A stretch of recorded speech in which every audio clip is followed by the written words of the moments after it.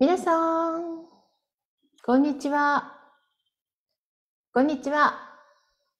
バルセロナからユーミングです。こんにちは。あ、聞こえてますね。よかったよかった。バルセロナからユーミングです。はい。えー、今日はね、ちょっと音の響き方というか、音の出し方、声の出し方に、を意識しながら話しています。というのも、今週は声をテーマにお届けしていますが、先週、音、あ、ごめんなさい、今週、音をテーマにね、お話をしています。先週は声をテーマにお話をしてきましたけれども、声とは人間が出す音であるというお話をしました。そしてその中でその音というテーマ、今週取り上げることにしたんですけれども、うん、ここを、見る。はい。そして昨日は音の三大要素という話をしました。見えない音をどうやって分類するか、そしてこう私たち耳で聞き分けていますけれども、それをどうやって表現するか、えー、そういったことをするために、音には3つの要素があって、それぞれにその表現をしていく、えー、ようになっているという話をしました。えー、大きさ、音の大きさ、そして、え音のそう、音のね、えー、音色、大きさと、それから高さ、そして音色というお話。高さは、えー、こう音の圧力によって変わる。そして、ですので、その圧力の単位は、パスカルとかね、デシベルで言われているというお話をしました。そして今度は音の高さ。これは、えー、こうヘルツで表現されている。1秒間に空気の触れる振動の回数によって高さが変わる。振動が多ければ多いほど、1分間の中、1秒間の中に振動が多ければ多いほど音が高くなる。そして、その1秒間の振動が少なければ少ないほど低い音となるという話をしました。そして、音の音色。音色、これはえー、音色は基本の倍音が重なることで音色が構成される。音色というのは、こう音の表現力というかね、音の表情という、そういったものですけれども、一人一人声が違って聞こえるのは、声の高さや大きさだけではなくて、この音色、声の表情、トーンというものが違うよということがある。なので、えー、その三大要素の話をしました。で、この音の音色の中で、この音の倍音が重なるというところがあって、私も倍音って何だろうっていうふうに思ったんですね。で、皆さんにも昨日お伝えした時に、倍音についてちょっとわかります？という話をしてね、倍音ってなかなか楽器をやってる人とか、声楽をやってる人とか、あるいは音に関わるね、え仕事をやってらっしゃる方以外には、倍音という言葉はなかなか馴染みがないと思います。私もあまり知りませんでした。なので今日はこの倍音の話を、え調べてみましたよ。はい、えー、倍音というのはですね、基本的にその倍音という言葉、えー、オーバートーンと英語では言います。え、スペイン語ではソブレトーノというふうに言うそうですが、え、これはね、実は私たち、ええっと、音を出したときに、私たちだけではなくて全ての音を出すものが音を出したときに、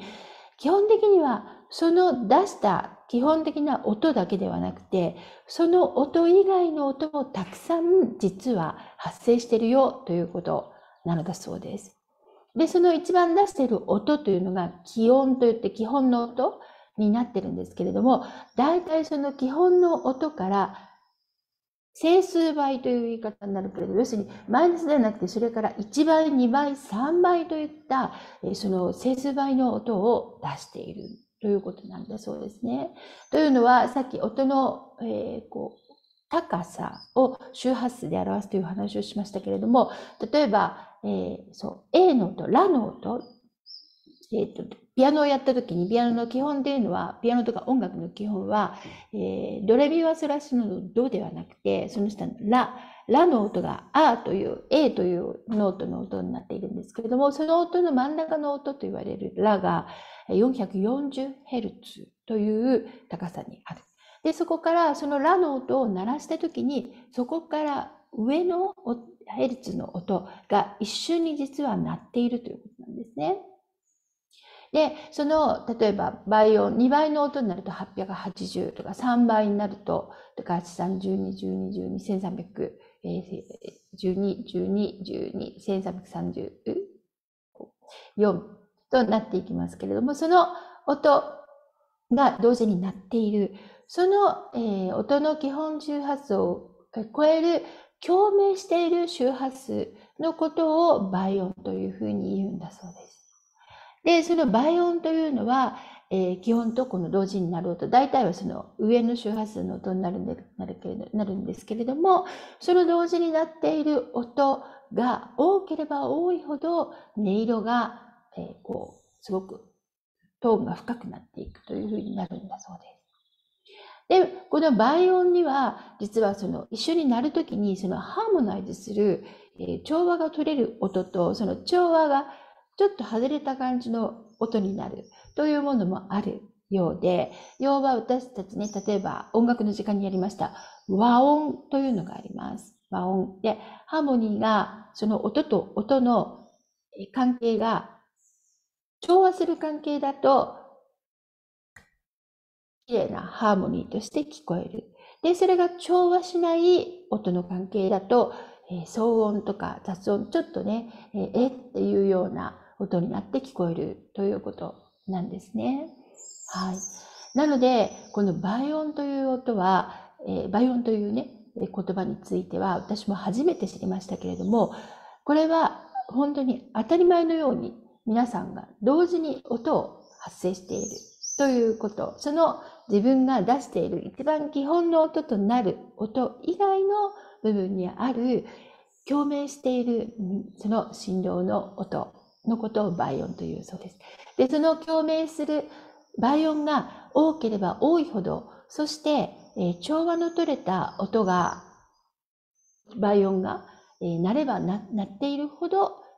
心地よく聞こえるということなんですね。私たちは自然に自分の体で自分の音を自分の体で、ね、音を出している声でもこの倍音発生していろいろなそのハーモナイズされている音を届けているということ